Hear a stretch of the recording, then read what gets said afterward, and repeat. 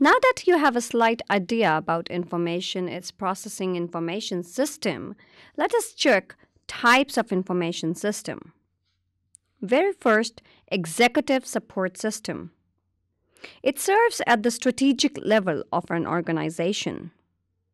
It provides top level executive of a readily accessible, interactive format to get the overview of the entire organization's performance.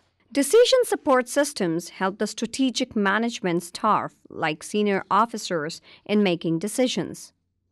The system uses information, models, or analysis tools in order for managers to make simulations and predictions. For example, a five year investment plan is a decision support system. Transaction processing systems serve the people in the operational level of an organization. They collect and store information about transactions and control some aspects of transactions. A sale of an item in the store is an example of a transaction. Management information systems, on the other hand, serve the management level of the organization. The system condenses and converts the TPS, that is Transaction Processing System data, into information for the purpose of monitoring performance and managing the organization.